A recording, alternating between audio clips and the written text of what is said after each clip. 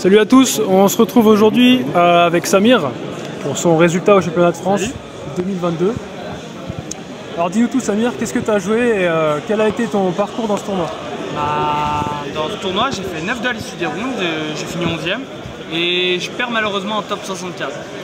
J'ai perdu une fois contre, contre Dritron et j'ai perdu une fois contre... tac tac, je m'en souviens même plus, je, je crois que c'était Sortoul de mémoire. Ah bah oui c'est Sortoul, c'est vous. Oui, je perds une fois contre Sortoul. Et en top, je pars contre Brave et Ok. Et donc tu jouais Je jouais Wartool. Ok.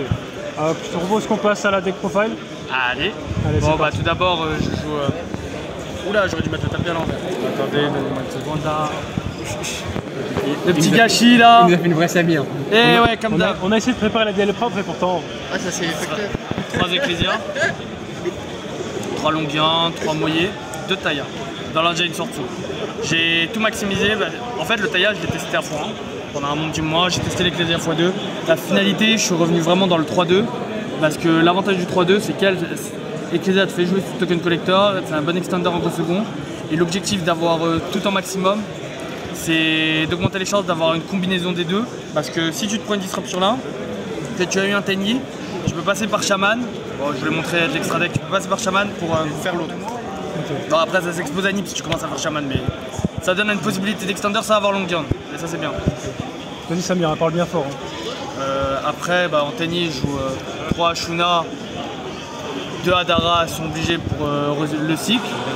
Un Shetana, c'est par rapport au cercle que je montrerai plus tard. Et un seul Vishuda. J'en joue que un. Alors pourquoi? Alors je fais le choix de jouer qu'un Vishuda parce que c'est une carte qui est mauvaise en Gopher, sauf dans le cas de Token Collector. En go second, elle est vraiment forte, mais au final, entre les, en fait, les Ashuna et Fier te donnent et Taya te donnent énormément d'accès possible à Vishuda. Même si je réduis un peu mes ratios de toucher Vishuda, dans la finalité, je gagne en stabilité gopher. Et dans le go second, j'y perds pas vraiment vu que je joue 3 cercles, voilà. Ok. Donc c'est pour ça que je préfère faire le choix de jouer que un Vishuda. Et que cette tennis pour les mêmes raisons de la stabilité du golfeur. Après, en, trap, j'en joue 6. J'en 2 NIP, 3 H. La dernière, c'est MP1, mais je présente toujours dans l'ordre des MP. comme d'avant. Je fais des gris et NIP. Je joue aussi en trap. Euh, c'est par rapport aux statistiques pour euh, les probas. En fait, H, c'est obligatoire, c'est la, c'est la, la, en trap qui bloque facilement euh, les match-up. Les NIP, c'est très punitif en miroir match et et versus euh, des gros boards qui a accompagné versus les decks combo et versus les decks euh, demi-combo ou les milieux de partie ils peuvent faire gagner. Et là il me permet, c'est mignon, c'est polyvalent, c'est versatile. C'est bien et c'est un bon complément. C'était aussi en combinaison par rapport à mon set. La Imperm, je trouve, ça contribue à faire Brick d'Espia, qui est un des gros matchs En magie, je joue deux points désir, la meilleure carte de vidéo, hein, je vais pas à décrire. Je joue trois cercles. Ah, je fais le choix de la jeu x3, c'est une carte qui permet de, jouer autour d'Imperme Veiler très facilement, qui permet euh, de respecter Token Collector en pouvant le bounce facilement. Tu peux faire euh, des extenders avec tes tennis, tu peux forcer un tennis au cimetière comme Miranger par exemple, euh, elle est juste extraordinaire la carte. Et aussi par rapport à mon que je présenterai plus tard, j'ai trouvé une utilité de side. Si je ne peux pas placer mon cercle par rapport à l'open de base, enfin si on me répond pas, parce que j'ai là avec le cercle, elle te permet vraiment de répondre de base. J'ai zéro vaisselle, parce que certes, elle est meilleure en go second justement. Et en go first, euh, elle est quand même pas mal. Elle est plus conçue comme un call the grave conçue qu'on dit en trap. Et beaucoup de gens jouent beaucoup c'est mieux de vouloir check euh, des réponses que l'inverse. Du coup, je joue 3 de chantier, le call by, Staple, elle est trop forte. Joue deux droplets. Ah, il m'en manque une, on me l'a prêté. Euh, merci les, merci les Guyanais, hein. c'est eux qui m'ont prêté la deuxième à la dernière minute. Tout m'a fait un faux plan. Et Droplet, franchement, je suis mitigé sur la carte après pour moi. Elle est, vraiment forte et en même temps, elle m'a pratiquement jamais servi. c'est compliqué en fait de sortir du PLP. Dark couleur, elle serait plus cohérente au deck, mais elle diminue ton gopher. Ça, c'est problématique parce que surtout, c'est un deck qui a besoin de cartes extérieures, je trouve, pour avoir un très bon gopher. Ah, c'est aussi pour ça que je joue bureau. Elle renforce le gopher. Parce que c'est explosif le bureau. Et je joue une fois le sommet sacré à mes C'est la Monster Reborn du deck. Alors cette carte, je ne dirais pas, elle n'est pas très jouée, mais elle te permet énormément d'extender sur plein de situations ou de créer des OTK que tu n'avais pas normalement. avec Shixiao. En fait, maintenant qu'il n'y a plus le DSBot 001, c'est un gros gros à l'avoir. Je trouve elle est nécessaire. Et surtout le délire d'avoir euh, des cartes sur Moi je trouve avoir des cartes sur dans une combinaison de 3 cartes sur full ou Tenny, c'est ça qui sont les bonnes mains dans le deck. Si t'en as moins, c'est là où ton deck, ta tes mains sont sensibles et fragiles. Donc dans mon deck, dans mon deck build, j'ai essayé d'optimiser ce ratio. Et je joue pas vaisselle parce que c'est de la merde en seconde. Ça se prend trop de réponses avant. J'essaie de cheater si t'as cool. Et en piège, hormis perdre, je joue deux personnes mais. Parce que, Satisfait Oh oui, c'est la meilleure carte du format à jouer. Parfum, c'est une dinguerie. Il y a trop de magie, de force de format. En fait, il y a 10 000 decks et ces 10 000 decks se prennent parfum. C'est très très grave. Genre, d'où il y a une pièce continue qui dit je bats 10 000 decks de Yu-Gi-Oh! C'est trop. En fait, tous les decks ont le point commun des magies et, rien que pouvoir check ça, c'est genre juste extraordinaire et ça comprend. Salut, salut retour. Vas-y. Ouais, ben plus tard. Ciao. C'est Brissou. Et je joue deux Emergency. Bah, alors pareil, Blackout, j'en ai deux et pas eu. J'ai Emergency, je suis vraiment fatigué. Deux Blackout. C'est dans l'idée d'avoir un certain nombre de sorts sur les tennis. Alors, le meilleur ratio sort sur le tennis et carte, on va dire circle, je, vais la, je la considère dans, dans ce délire de moyenne, c'est 27 ou 28 cartes. Parce que ce chiffre, optimiste, tu as des chances d'en avoir 3, de ce que je vous ai dit, 3 euh, cartes de ou surtout Loutani ou Weird, et 2 cartes extérieures. Et c'est là où ce sont tes mains les plus puissantes euh, du deck. Donc j'ai maximisé cette probabilité. Et Blackout, elle, elle contribue à être dans ce scénario-là. Et en fait, Blackout, le fait d'en jouer deux, c'est pas pour en faire deux dans le jeu. Bien qu'il y ait Mystic Mind et que c'est une bonne alternative pour avoir deux opportunités. Mais c'est surtout pour. Quand tu es dans la situation de long viande blackout et que tu es obligé de défausser blackout, bah tu, perds l'opportunité de blackout. Le fait d'en jouer deux de blackout, ça te donne toujours cette opportunité et avoir blackout dire c'est vraiment fort. Ton Taya il devient plus sensible à Veiler, ton Shixiao il peut appeler un jeton pendant le tour adverse pour rendre ta deuxième blackout vivante et pas perdre le Shixiao. Même pour ces deux raisons, pour moi, tu es obligé de jouer des blackout. Je suis à 40, hein. c'est le seul chiffre à Yu-Gi-Oh! Et c'est le seul chiffre dans ce format parce qu'il y a plein de power cards. Du coup, je vais passer au side deck. Ouais.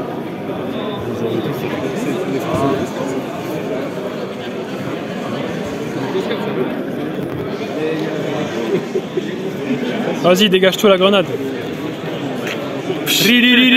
Et des dèches Un point. Allez, je vais passer au side. Ah, le side. side ah, non, ce que tu veux, ce que tu veux. Allez, l'extra deck, c'est mieux. T'as raison. Là, j'ai deux jetons. Hein. Ah, euh, Runune, j'avais qu'un jeton parce que je prends que le genre de flûte d'habitude. et je joue contre Amouche, mon pote, et il me prête un jeton. ah, j'aurais pris des culs avec le petit Moki Moki. Mais oh, le Moki Moki, elle est trop mignonne. Et du coup, c'est Amouche qui me prête le jeton de la frappe. Oh, c'est un Marek. Oh, c'est un chétan. Bah, mais tu sais pourquoi tu l'as prêté Et ouais, Ayazabi le chétan. Non, t'es le méchant de dessin animé, c'est tout. Oh ouais, ouais, je suis un gentil d'animé, je fais pas de combo, je fais pas de loupidou. Ah si, je joue parfum. Ah, je joue parfum. Ah, je joue. Allez, let's go. Ah, là, c'est moi le méchant. Du coup, pour l'extra, en link, les links elles sont très importantes, je précise. Parce que c'est ce qui va te permettre de jouer autour d'une barrière.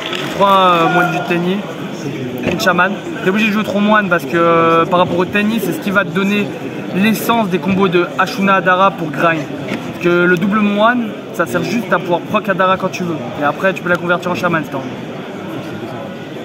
et la chamane, la chamane, elle a que des effets de cheaté. Le fait de dire qu'une attaque appliquée avec le moine, c'est trop fort, c'est trop fort. Et le fait de ces reborn, ah franchement la chamane, plus je la joue, plus je l'adore. Ah, j'ai vraiment envie de la l'envisage x2. Ah ouais. Ah ouais, c'est la meilleure carte pour jouer autour de, quand t'as Dim Barrière parce que quand tu joues sous Dim Barrière, au moins tu peux péter des cartes avec le moine. Je joue Lina. Alors Lina, vous voyez quand vous faites Nibiru il y a une problématique qui se crée dans le deck. Quand tu fais Nibiru, si tu n'as pas Longuian en main, tu es normal summon dépendant. Ça veut dire que si je mets Moyer, hein, l'exemple classique, si ton Moyer se prend quelque chose, c'est-à-dire Imperm, Droplet, n'importe quoi. Après Nibiru, il a bien fait le terrain, c'est normal, il fait comme sur Master Duel. Et ben, ton Moyer, s'il se prend quelque chose par exemple, bah, tu es censé avoir perdu si t'as pas Longuian. Il te dit Longuian ou sinon t'as perdu et ben en fait le token tu l'invoques en mode attaque tour 0. C'est surtout pour le miroir en réalité, hein, c'est game plan. Tu link, tu invoques Lina, tu rentres en battle, tu te suicides, et en fait ta Lina elle va tuto, Et du coup, non seulement tu débloques Titani parce que tu as zéro monstre, mais en plus tu tuto Ecclesia qui peut se spé te donner un deuxième sort sous le niveau. Genre euh, bah, l'autre couleur Taya. Donc tu extender. Tu, juste avec la même situation, je suis passé de 1 à 2 réponses. Donc voilà pourquoi je joue Lina. Vrai scientifique. Et ouais, et en plus il y, a des petites situations rien à voir en vrai en miroir qui peut en plus encore plus te faire gagner parce que tu peux voler des Shichiao et tout. Hein. C'est fort. Hein. Et une fois le dragon maître du Tenny. À défaut, en fait, ton côté Link il va pas donner des negates, c'est une réalité, mais il est très fort pour raser le terrain. Et après tes negates, de toute façon les negates de Sortul elles sont nulles globalement. C'est les meilleures negates de Sortul c'est les, cartes violettes. Donc euh, pouvoir remonter le des et créer du violet, bah, c'est le rôle des Tenny. Voilà pourquoi je joue Dragon Maître, qui complète ça. PT2 c'est de la fin. Maintenant les synchros. Le Chic Xiao, je vais pas expliquer, hein, c'est la meilleure carte. Le grand Baxia, il renvoie deux quand on fait plaisir, il y a de bien. Eh ouais, Charles Gag. Mais Charles Gag, mais bon, mieux vaut en rire. Eh ouais, mais c'est pas grave, ça arrive à tout le monde. Eh ouais. Franchement. Ah, ah, le avec Taya, j'avais juste à invoquer Taya en fait. Et j'ai envoyé Vishuda, je coupe plus parfum, voilà. Maintenant je me suis justifié. Mais bon. Ah, elle est bonne sur les Baxia. Elle est bonne sur Mais Baxia, elle est vraiment incroyable. il y a beaucoup de gens qui jouent x2. Franchement, en fait, c'est un débat possible Baxia x2. Et je trouve que bah, avec justement ce nerf de Sword Soul par rapport à la, bah, la de Deathbot, c'est plus compliqué d'avoir recours à deux Baxia. Si tu commences à avoir recours à deux Baxia, c'est que vraiment tu es obligé de T4, t'as plus aucune option. Et la team barrière, bah voilà. Ah, ça dure trop longtemps Non, vas-y, t'inquiète, t'inquiète. J'espère que j'aurai assez de mémoire, mais. Ah, et ah bon, il joue Berserker, hein. Berserker de tennis, ça fait 2 ETK. C'est la seule qui peut proc son effet en synchro avec Shaman. Franchement, c'est cool. Joue une fois Dragit. Pourquoi Dragit Parce qu'en fait, le deck surtout, il y a beaucoup d'open qui partent sur Rekiki. Dragit, c'est la seule. C'est la seule alternative à Rekiki. mais je rigole quand je dis Rekiki, mais en gros, c'est pour vous dire toutes les magies pièges. Ouais, mais c'est au cas où. Lightning Storm. Lightning Storm, par exemple. Et rien que ce petit côté alternatif, pouvoir gérer un peu les MP et tout, euh, c'est vraiment cool. Ça se complète bien. Yazi, je le joue uniquement pour jouer autour Token Collector parce que c'est les plays de base par rapport à Token Collector. Longion avec Adara, euh, Taya qui diminue d'un niveau, qui peut te permettre de péter un, mais bon, ça c'est vraiment situationnel. C'est plus vraiment le délire de Longion avec euh, Adara. Mais il est trop important ce play en Et le trio de synchro Franchement, t'es obligé de jouer les trois. Chacun sert dans des situations différentes. Et toutes ces situations différentes, elles font gagner. Quand il t'en manque une, tu perds forcément des duels. Parce que tu as besoin d'elles. Parce qu'elles font toutes des choses totalement opposées. Une, elle sert à plus de du CA. Une, elle sert plus à sécuriser des plays. Et une, elle sert plus, on va dire, à, finir le terrain et à tuer. Voilà, voilà. Pour l'extra, franchement, j'en suis vraiment. Je l'apprécie vraiment. Du coup, je vais passer vite au side avant que Brice ait plus de mémoire. Ça va aller, ça va aller. Il a des biceps mais pas beaucoup de mémoire. du coup dans mon side là c'est un peu plus spécial, je joue un seul dimensionnel shifter. Les stats Et ouais c'est quoi les stats Alors j'explique. Je joue 9 entrappes post-side versus les hardcore combo deck et en fait c'est la seule entrappe que j'estime contre les hardcore combo deck en mono elle suffit. C'est-à-dire si j'en touche une, elle est en unique, elle peut gérer. Alors toutes les autres entrappes, il les faut en combinatoire H, Nibiru et Imper. Il en faut en avoir un combinaison 2. Et en 8, la combinaison 2 c'est genre 25%. Et lui solo, c'est 12,5%, une chance sur 8. Donc en jouant ça, plutôt qu'en jouant en troisième niveau, non seulement je lise le fait d'avoir euh, deux entrappes identiques qui ne s'activent qu'une fois partout, qui sont les contradictions du délire euh, d'avoir deux entrappes en main. Et en plus de lisser ça, eh ben, j'optimise euh, le fait d'avoir une entrappe hardcore. Ça veut dire que en temps normal, les gens, quand ils jouent 9 entrappes, même si c'est différente, on va dire au lieu de numéro, ils jouent pas un drôle par exemple, et ben il ferait, 30%. Moi là je suis à 38% grâce à ça parce que shifter solo je l'estime comme suivant. Voilà pourquoi je shifter. Et il me gêne pas trop mon deck. Je joue deux zombies war, c'est pour le match-up flou.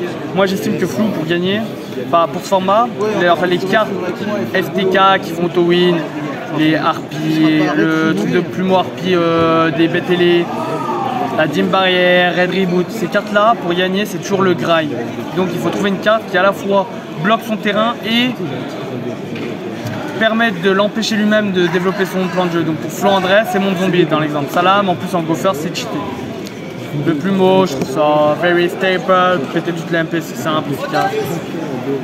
3 dim barrière, cheaté, hein, franchement un sticker de cheaté. Carte du format Franchement pas loin. j'ai envie de dire que c'est parfois la meilleure carte du format. Mais Dimbarrier, en fait, c'est que c'est la meilleure carte du format contre les match-ups euh, du format. C'est fou. Genre, Sword tous les branded, c'est vraiment ce qui les articule dans la limite de leur puissance. C'est une carte que, tu mets à la fois en premier et en deuxième. Pour dire en deuxième, j'aime bien la mettre parce que si je remonte son terrain, par exemple qu'avec les techniques qu'on m'a fait Dim Barrière, bah moi répondant avec Dim Barrière, je bloque Dim Barrière. J'annule sa Dim Barrière. C'est pour ça qu'elle est trop forte carte. Je joue mon troisième parfum. Hein. Voilà, hein, quand je go first. De Imperm. Bouton rouge. Imperm, c'est pour les 9, les fameuses 9 en trappe, et je trouve que c'est la meilleure en trappe versus Despia. Moi, Despia, je cherche plus à le faire brique, je vous cache pas. Ou si je le fais pas brique, bah, je tente de remonter tout son terrain et de place Barrière, c'est de la chatte. Hein. Je trouve que c'est le seul moyen de gagner où vraiment j'ai Goden qui s'aligne. J'ai renoncé d'ailleurs de Dicro. Red Reboot, ça bloque les power cards. Genre Barrière, euh, la plume, etc. Et les décampés. 3 events du match. Je trouve c'est pas la meilleure carte du format, mais c'est la carte la plus populaire du format. C'est la seule carte, tu vas jamais être déçu de l'avoir. Elle bloque beaucoup de choses, elle win beaucoup de choses. Franchement, elle est bien la carte, elle est folle. Moi, je la trouve incroyable pour ces gars. Et d'ailleurs, c'est une des cartes que je sais contre Brandel. Et contre les decks peut-être. et la dernière, bam Je joue une contre-pied du Tenny. Coup de poing, coup du sang égal du Tenny. Alors, euh, ça te permet. En fait, le problème, parce que ça, les gens ils vont avoir moins d'entrappes et plus de gros entrappes. Et en fait, le jugement solennel, c'est vraiment fort dans ton terrain que tu vas établir je peux la redraw. Et en fait, juste en side 1, c'est comme si j'en avais 4. Parce qu'en fait, si mon cercle, je ne l'utilise pas, ça veut dire qu'il n'a pas eu de réponse, je l'accord. Ou que j'ai fait baron tour et du coup, il refuse de faire une réponse. Je fais l'effet de ma baronne, je pète mon, mon cercle et après, avec mon cercle, je le bannis pour tuto le coup de poing sans égal. Et du coup, j'ai converti ma carte qui était un out à certaines entraves en un jugement solennel parce que j'ai découvert qu'il n'avait pas d'entrave. Et du coup, ça rend mes mains plus versatiles. Voilà, voilà. Alors, euh, est-ce que tu as des remarques, des impressions sur ton tournoi ou sur le format en général Quelque chose que tu aimerais, je sais pas, euh, pointer du doigt? Moi, j'apprécie beaucoup le format, même s'il y a énormément de decks et tout. Je trouve qu'au contraire, c'est un gros reflet de ce qui est bien, que tu peux te prendre la foudre, des trucs improbables. franchement, il était, c'est juste le tournoi lui-même, le CDF, qui était épuisant, euh, l'orga, quoi. Mais, globalement, moi, j'aime beaucoup le format. Il y a beaucoup de gens qui sont pas d'accord avec moi, mais je trouve vraiment ce format incroyable. C'est un format qui est ultra diversifié demande beaucoup de compétences, énormément de compétences même pour pouvoir remonter énormément de situations et que, et que les résolutions de la problématique du format, c'est vraiment le grind. Et ça, c'est incroyable de dire ça. Je peux remonter toutes les cartes les plus puissantes si j'arrive à trouver un moyen de tempo à chaque fois. Et ça, ça c'est la preuve même qu'il a Yu-Gi-Oh! Ok. Voilà, voilà. Et euh... coup, bah, je remercie la personne qui m'a prêté surtout. Je remercie les Guyanais qui m'ont prêté euh, le Forbidden Droplet. Et tac tac, hein, je pense que c'est déjà pas mal. Hein. Ouais, la bendo peut-être. Ah, la bendo la, la quoi La quoi Hein Hein, ah, Si, la bendo, mon frère. Et bien sûr, le sang, la BCP, toujours. Toujours. Et merci à Mouche pour le token. Le plus important. important. Et on se revoit quand? Un jour. Allez, salam